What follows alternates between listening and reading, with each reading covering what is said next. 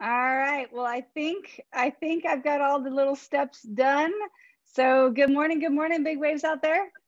Good to see everybody. Happy Wednesday, happy Wednesday. Coach Palmer had another Zoom this morning, kind of got called into something for corporate. So you're going to have me and Coach Myra today. So excited for that. Though, when I sent this to Myra, I told her it was her and Palmer. So whatever she did, she understood. Who knows?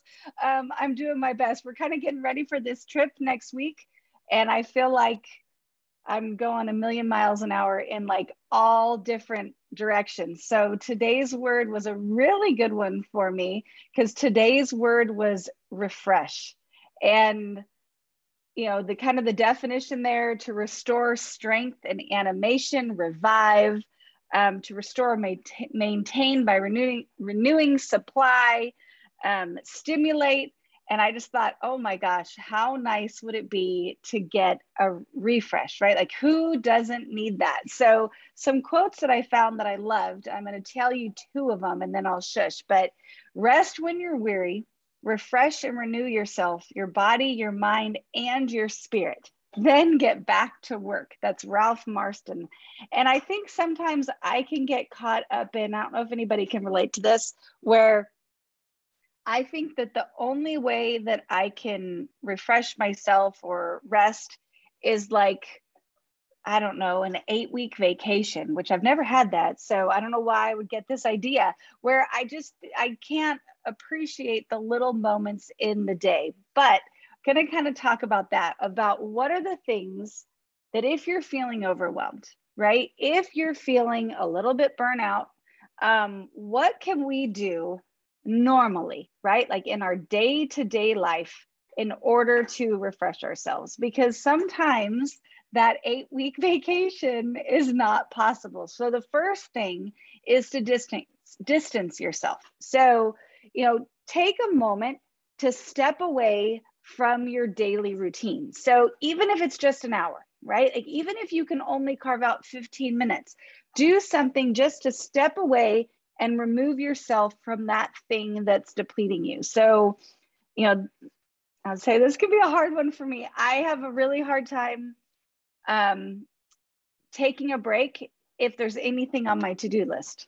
And if you kind of work for yourself, your to do list is never to done. so it, that can be a really, really hard thing. But even if it's just 15 minutes, give yourself a chance to take a break, get some new scenery, walk away from that to do list. The next thing, if you're feeling overwhelmed, and this one can be a little crazy sounding, but serve. Find somebody else to feed into, find somebody else that you can serve because by sharing your skill with somebody else or your time or your attention, that actually allows you to refill your bucket right? Kind of can sound a little strange if you're feeling a little empty but absolutely serving somebody else can actually help you feel that refreshment. And then number three get outside. And i feel this. I talk to everybody about my quote little ocean right? My hardest thing the thing i was the most worried about leaving california besides my loved ones was the ocean. I love the ocean. I love the water. I love watching it move. And all of that. But I'll tell you, I go sit out back and I watch my little swimming pool and the water moving around in there and the little birds, you guys know, the little birds floating around.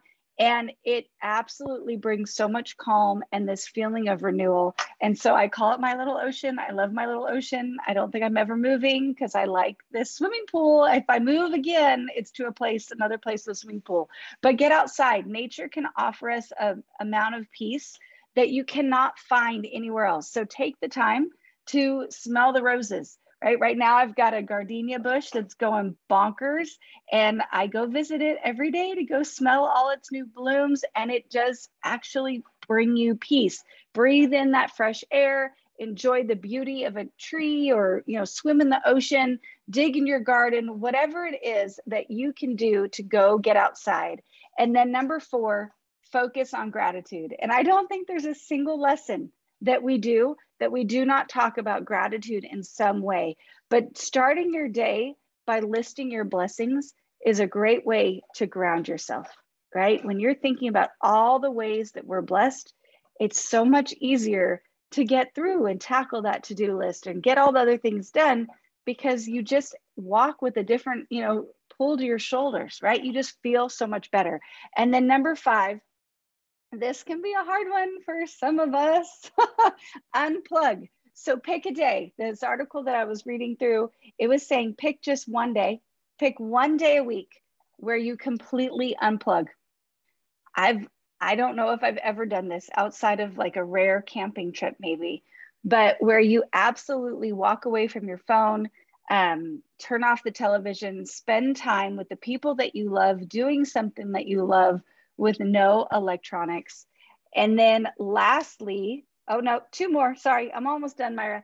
Two more. One, clean up, clean it up, right? So clean up your diet um, in terms of, you know, heavy food weighs us down physically and emotionally. Alcohol does the same thing. Like we might enjoy a tot, as my dad would say, here and there, but if you're feeling worn out, give your body the chance to heal from the things that we throw at it.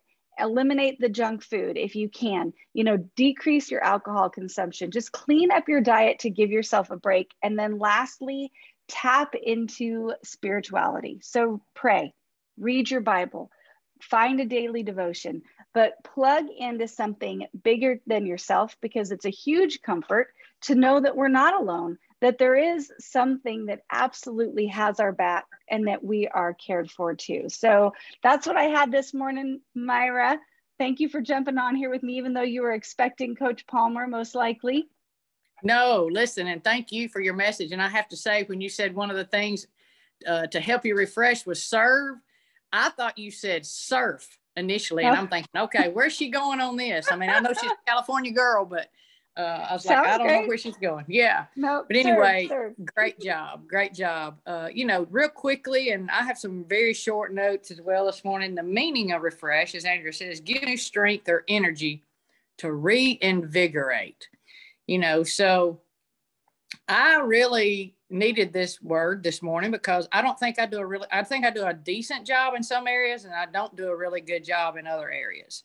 So, to refresh our mind quickly and to also reduce our stress, here are some things we can do. Now, don't laugh at some of the things I say. Um, you need to meditate, can exercise, take a, a walk outside, take a nap, and stay off of social media. That's an area where I've got to do a better job of is I don't do a really good job of staying away from my phone or my computer as much as I should. So I think we're all probably guilty of that in some sense. But so on days that we feel a little burned out, how many of you feel burned out? How many have been fatigued? How many of you have felt so indecisive and anxious? Well, all of us have. Just stop. Just stop take some needed time away from what you're doing. You know, another way, a very healthy way to refresh our mind is to hang out with a circle of friends that you know will always, always bring happiness and positivity to your circle. You know, sometimes, let's be honest, it's really hard to find that unique, complete circle of people that fit that. But when you do, you've got to absolutely value that almost more than anything. So, you know, there's nothing more refreshing to than big, big laughs and fun to help our state of mind. So, another way to refresh, and please don't think I'm crazy when I say this, is to take a short vacation by yourself you know, when I read that, I was like, "Ooh, I don't know if I could do that. I might could do it for two days, but then I'd be ready for some buddies to be around." So, but remember this: when it comes to stress, how we cope with it is so much more important than how it came about and how it got to us. If we'll refresh our minds and believe that we can handle our stress, then it won't affect us as much and it and and it would help the person well let me read my notes then it won't affect us as much as it would the person that thinks their burden is unbearable now you can't change who you are but you can change what you have in your head.